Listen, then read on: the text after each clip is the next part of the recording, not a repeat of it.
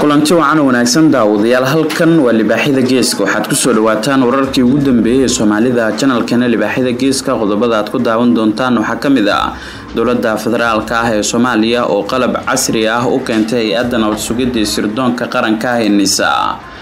howlgal lagu xaqiijinayo ammaanka oo laga sameeyey magaalada boosaaso ee xarunta gobolka bari. Dowlada mareykanka ah oo shaacisay inay horumarin doonto siyaasadeeda ku aadan garab istaaga ciidamada qalabka sida ee soomaaliya intaas waxay ahaayeen qaar ka mid a qodobada aad kaga bogan doontaan tabinteena tooska wararkii ugu dambeeyey ee soomaalida janalkeena libaaxyada geeska. Haddii aad nagu cusubtihiin waxaan idinka codsanaynaa inaad subscribe-ka aad noo saartaan barta youtube janalka aad naga daawanaysaan libaaxyada geeska. Daawada qodob walba oo warkan ka mid ah aragtidaada ayaad ka soo dhiiban kartaa. Qaybta hoose commentigan inoogu reeb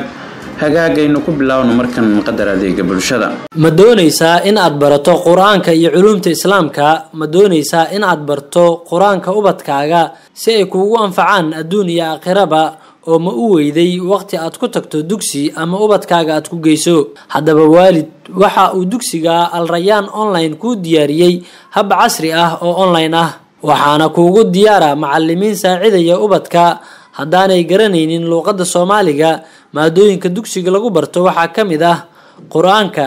hingaada carabiga ducooyinka siirada rasuulkeena sala allahu calayhi wasalam tarbiyada ubadka yaryar sidoo kale xaruntu waxa ay waalidiinta ku nool qurbaha ee aan ku hadli karin afka soomaaliga u haysaa fursad ay ku baran karaan qorista iyo ku hadalka af soomaaliga kama marna barashada xisaabta oo lagugu barayo soomaali ahaan. Wixii faahfaahin intaa dheer fadlan kala xiriir alrayaan qur'aan online lambarada shaashada idinkaga muuqda. Mar kale kulan haboon saaxiib yaal daawadayaal soo laabasho waxaanaynu ku bilaawno sida hordhaca warkeena aad ku daawateen. Dowlada federaalka ah ee soomaaliya ayaa qalab casri ah u keentay hay'adda nabad sugidda sirdoonka qaranka nisa hay'adda nabad sugidda sirdoonka qaranka ah ee nisa oo ka mid ah hay'adaha ugu waaweyn ee dowladda federaalka ah ee soomaaliya ayaa keensatay qalab lagu ogaanayo laguna la soconayo xogaha shaqhsiyaadka dalkan u soo hogaamiya dowladaha aan danininin horumarka dalkeenna uu maleegaya shirqoolo ka dhanaa qarankeena korneel cabdulaahi cali macow oo hore kaga soo shaqeeyey hay'adda nabad sirdoonka qaranka ee nisa ayaa u xaqiijiyay xogtan radio kulmiye. Korneelkan ayaa idaacadan u sheegay in qalabkan anteenooyinka ah laga taagay saddex xarumood oo ku yaalla magaalada muqdisho ee caasimada soomaaliya waxa uuna sheegay in lagula soconayo dhaqdhaqaaqyada taleefanada ku hadalka ah ay isticmaalayaan shaqhsiyaad ka hogan magaca soomaaliyeed ee dowladaha shisheeye u fududeeya inay si toos ah saameyn ugu yeeshaan howlaha qarankeena. Korneelkan ayaa sheegay in arrintan walaac xoogan ay soo wajahday shaqhsiyaad ka mid a siyaasiyiinta iyo sidoo kale xubno ganacsato ah kuwaas oo xiriiro aysan la gamban la leh dowladaha shisheeye kuwaas oo qaarkood dagaal adag afartii sane ugu dambeysay dowladda federaalka soomaaliya ay la gashay. Shaqhsiyaadka sida tooska dhaqdhaqaaqyadooda ay u xadidayaan hay'adan islamarkaana la soconayaan ee uu la wadaagay warbaahinta korneel korneel cabdulaahi cali macow ayuu sheegay inay yihiin kuwa sida tooska ugu xiran dowladaha imaaraadka carabta iyo kenya. Korneelkan ayaa xogta uu soo dusiyey ayaana jirin cid kale oo xaqiijin karta marka laga soo tago isaga oo sheegay in xogtan uu ka soo xigtay saraakiil ka tirsan hay'adda nabad sugidda ee sirdoonka qaranka ee nisa hay'adan ayaa loogu talagalay inay si toosa dabagal ay ugu sameyso. Cid kasta oo maleegaysa qorshayaal lagu hagardaaminayo qarannimada dalkeena korneel cabdulaahi cali macow ayaa xogtan uu shaaciyey. Waxa ay dibadda keenaysaa in hay'adda nabad sirdoonka qaranka ee nisa ay awood xoogan ay u leedahay inay si toos ah ay ula socoto dhaqdhaqaaqyada taleefanada siyaasiyiinta mucaaradka kuwaas oo dhaqaalo fara badan qaarkood ku iibsaday jiritaanka dalkooda ee soomaaliya. Howlgal dad badan lagu soo qabtay ayaa laga sameeyey magaalada boosaaso ee xarunta gobolka bari saacadii la soo dhaafay howlgal uu hogaaminayo taliyaha qeybta booliiska gobolka bari gaashaanla sare. Xuseen cali maxamuud ayaa laga sameeyey magaalada boosaaso iyo qaar ka tirsan xaafadaha magaaladaasi si loo adkeeyo ammaanka guud ee magaalada boosaaso. Howlgalladan oo ahaa kuwo lagu xaqiijinayo ammaanka ayaa meelaha qaar waxay ciidamadu u sameynayeen howlgalkooda guri guri iyadoo oo gudaha u galay qaar ka mid a guryaha ku yaalla xaafadaha howlgalkan laga sameynayay hoteelada ku yaalla waxa uuna howlgalkan ay ku sheegeen laamaha amniga inuu ahaa mid ka dhan ah xaqiijinta ammaanka iyo ka hortaga burcadka dadka shacabka ka furta agabyadooda ciidamada ammaanka ayaa inta ay ku guda jireen howlgalkan. Waxaa u suurtagashay inay gacanta ku soo dhigaan dad ku howlanaa falalidi kuwa ammaanka siday warbaahintu u xaqiijiyeen. Habeenadii la soo dhaafay ayaa ciidamada ammaanka magaalada boosaaso xarunta gobolka bari sidoo kalena ah xarunta ganacsiga maamulka puntland ay ka wadeen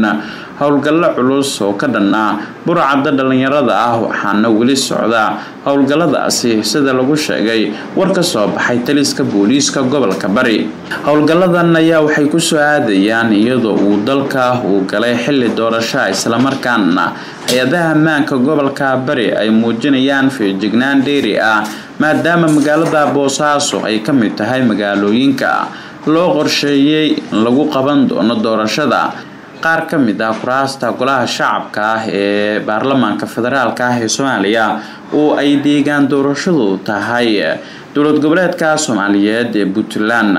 taliska booliiska gobolka bari ayaa wacad ku maray in howlgalladan ay sii wadi doonaan ilaa laga gaaro hadafka laga leeyahay sida talisku ay sheegeen. Warbaahintana ay dib kala wadaagi doonaan xogaha guud ee ku qotoma howlgalladan soconaya. Mareykanka ayaa shaaciyay inuu horumarin doono garab istaaga uu u muujinayo ciidamada qalabka sida ee soomaaliya kaaliyaha amniga ah ee madaxweynaha dalka mareykanka iyo taliyaha. Ciidamada mareykanka ee qaaradda afrika ee loo soo gaabiyo magacooda africom generaal stephen iyo kaaliyaha xogeyaha difaaca ah ee howlgalka gaarka ah iyo xiisadaha hoose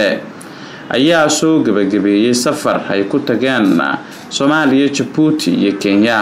aqalka cad ayaa sheegay in safarka mas'uuliyiintan uu ahaa horumarinta siyaasadda maamulka madaxweynaha dalka mareykanka ee la dagaalanka argagixisada awoodsiinta wada howlgalayaasha maxalliga ah si ay uga hortagaan khatarta ee ku xeendaaban argagixisada. Sida lagu sheegay qoraal ka soo baxay aqalka cad ee mareykanka saraakiishan ayaa waxay la kulmeen ciidamada mareykanka ee ku sugan dalalka soomaaliya jabuuti iyo kenya kuwaas oo mas'uuliyiinta ka ah fulinta howlgalkooda la dagaalanka kooxaha al-shabaab iyaga oo caawinaad ka helaya mareykanka booqashadeenna oo dhan waxay ahayd si loo xoojiyo ogaanshiyaha khataraha soo ifbaxaya iyo kor u qaadista wada shaqeynta aan la leenahay saaxiibada maxalliga ah iyo howlgalka midooda afrika ee soomaaliya amison ayaa lagu yiri bayaan ka soo baxay aqalka cad ee dalka mareykanka. Dowladda mareykanka ayaa ciidamo ka jooga soomaaliya waxa ay door muuqda ka qaadanayaan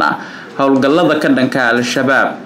Gacansiinta ciidamada si gaar ah tababarada ciidamada sida gaarka u tababaran ee kumaandoosta danab iyada oo xarun militari ku leh dowladda mareykanka gobolka shabeellada hoose gaar ahaan deegaanka beledoogle halkaas oo ay tababar ku siiyaan cutub ka tirsan ciidamada kumaandoosta sida gaarka u tababaran ee danaba mareykanka ayaa sidoo kale ka caawiya soomaaliya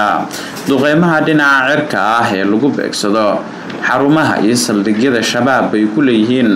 deegaano iyo degmooyin ka tirsan gobollada dalka soomaaliya ballanqaadkan cusub ee dowladda mareykanka ah ee kordhinta taageerada ay siiyaan ciidamada qalabka sida ee soomaaliya ayaa wax badan ka bedeli doonta hanaanka ay ciidanka dowladda ay ula howlgeli jireen ciidanka mareykanka saraakiisha ka socota. Saaxiibada qiimaha badan wararkii ugu dambeeyey ee soomaalida janalkana libaaxyada geeska aad ka daawanayseen waa inaginta aad ku mahadsantihiin daawashada warkan midkiisa xiga inta aynu dib u kulmi doonno. Waxaan idinkaga tegaynaa sidaasiyo nabadgelyo